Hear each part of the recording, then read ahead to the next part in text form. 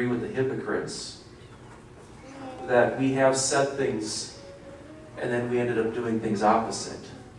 And we carry that into worship. We carry that into our relationship with God. So Peter's in the fishing boat, and Jesus there meets him on the shore. They recognize it's Jesus.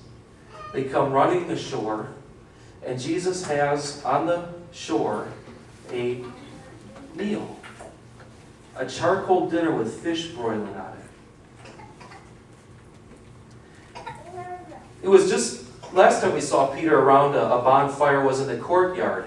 He was trying to warm himself, and then he was getting questioned about this Jesus, and he was denying his Lord and even cursing doing it. And now, in the very presence of the same Jesus, is another fire.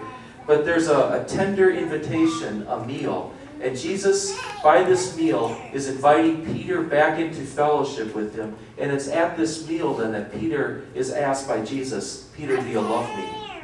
Yes, I do. Then feed my sheep. Peter, do you love me? Yes, I do. Then feed my sheep. Peter, do you love me? Then feed my sheep. Three times Peter denied him. Three times Jesus recommissioned him. And there in a meal, in the very presence of enemies, Peter and Jesus were. The enemy's Satan. Satan wanted to squash Peter. Remember, Jesus warned Peter that Satan is going to sift you like wheat. And there, in the very presence of Satan and all those who thought they had won the battle against Peter's soul, Jesus prepares a meal in the presence of those enemies, those spiritual enemies. And he reclaims Peter. And Satan loses this meal we're about to eat.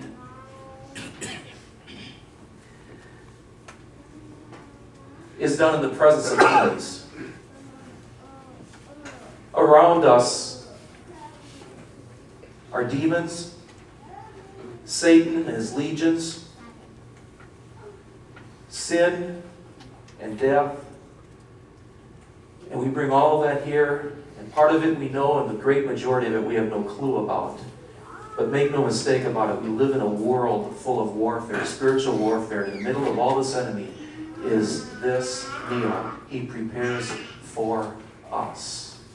And when you come to this meal, you can let the shame go and all those reasons why you don't think you belong here. All those reasons why you don't think God would love you any longer or commission you to be his servant in the world. This meal recommissions you. It re-invites you into his presence. It solidifies that relationship. And in the presence of enemies, it makes a clear statement of the victory. Disappointment or shame. Uh, Sally and I went to a um, Holocaust Museum in Washington, D.C or Sally did actually. And uh, she found very, very, very tucked away the, the book called The Hiding Place by Corrie ten Boom. Uh, that book is about 40 years old now almost. Um, I remember it as a child, one of those books I was supposed to have read and I never got around to reading it. But Sally picked it up and she gave it to me. She says, you got to read this. And I agree. You all have to read it, The Hiding Place. The Hiding Place, Corrie ten Boom and her sister Betsy and her father uh, had an underground um, ministry in Holland protecting the Jewish people during the Holocaust. Uh, they saved many, many Jews, but eventually they were caught. Corrie and Betsy went into the concentration camp. Betsy did, never came out. Corrie ended up coming out. But this book is an incredible tale of, in the middle of enemies, in the middle of incredible darkness, it doesn't get any worse than that. There was still a meal prepared.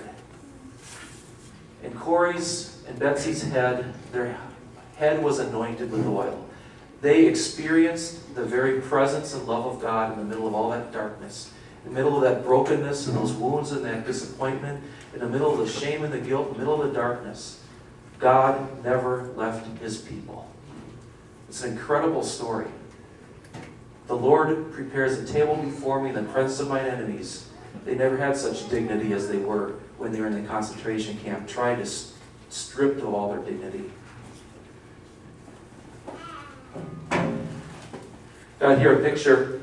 This is a 1972, I think, at Sault Ste. Marie, Copper Harbor. Or Cop. Is that the same thing, Sault Ste. Marie and Copper Harbor? It's in the Upper Peninsula of Michigan, I know that. I think it's Copper Harbor.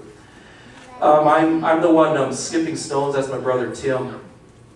You look back at pictures like this, and let's just say it's you you're looking at. Um, you can go a lot of different places with pictures. You can see dreams that were, that never came true. You can see things that happened to you that you've come to regret and have come to dog you. The disappointments and the wounds that you carry. You can see how you've acted over the years and the reasons why you may carry shame and guilt. That's what you could carry with you. Especially as you grow older and look back at how things could have been. Or you can take seriously the words of the Lord as your shepherd. He anoints your head with oil. He's about healing and wholeness, about bringing redemption to you, and giving you strength and grace to get through those places where it's just going to be the way it is. And He prepares a table before you in the presence of enemies. There's no shame for God's people. His grace covers you. And this meal is a, signi- a signifying event of that. More than a symbol, it is His love and His grace, His healing. In Jesus' holy name, Amen.